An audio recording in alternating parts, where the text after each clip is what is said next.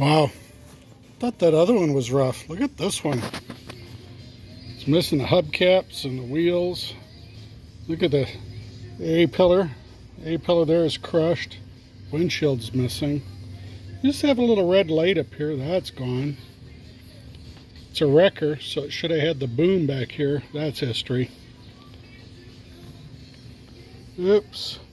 Headlights are missing. Ooh.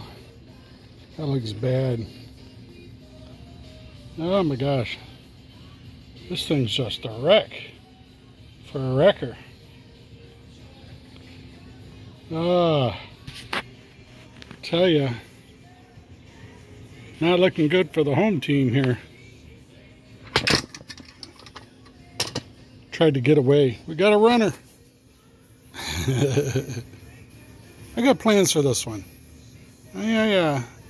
Got a guy. I know a guy. I know this guy. And I think he's going to be able to help me. Because I want to make a, um, a wooden bed for it, like a stake bed. I don't want to make it a wrecker. I'm going to make it a stake bed. And I'm going to fill out, figure out how to fill that hole up there. And uh, I'm just going to turn this into an old farm truck. An old stake bed farm truck because the booms are expensive and I don't know that I want to invest this much money in it. This is a part of the three. This is the second one.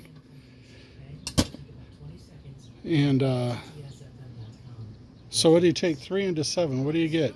Two dollars and something cents? Two and a quarter? I don't know. Anyways. Yeah, these are pretty much a wreck. Wait till you see the next one.